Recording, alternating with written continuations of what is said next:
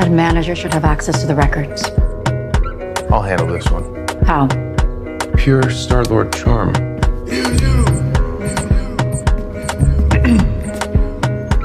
Hi, Yura. Ura.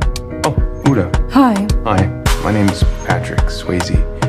I've been noticing you for quite a while, and the way that you smile to yourself when you think nobody is looking, it makes my every day a bit brighter. We need your hand, and it's your choice whether it's on your body or not! What are you doing? She was never gonna fall for that. Dude, she was totally into me, man. I kinda thought you were a douchebag. Oh, come on.